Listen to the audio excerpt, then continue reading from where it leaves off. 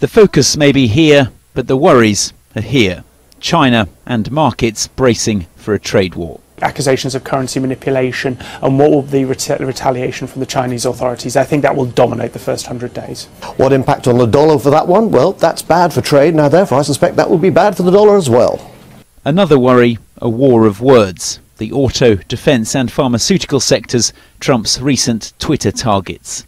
He has proven already to be a bit of a loose cannon when it comes to his Twitter account and aiming pot shots at various sectors within the global economy. Substantial spending was another campaign battle cry. It built markets up. Some feel they're ready for a fall. Unless he can deliver on that with true policies, then that not only does that froth get blown away, but actually some of those gains will actually reduce quite quickly as well. And even if he does deliver, there'll be other pressures too. If we were to see, um, say, US 10 year rates move up decisively towards the 3% level, um, then that has the potential for having quite um, disruptive effects uh, on markets. But for others, the bulls are here to stay.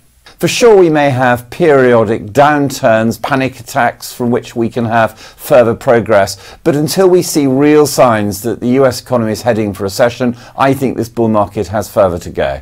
Trump almost certainly does have further to go 100 days, just a fraction of four years.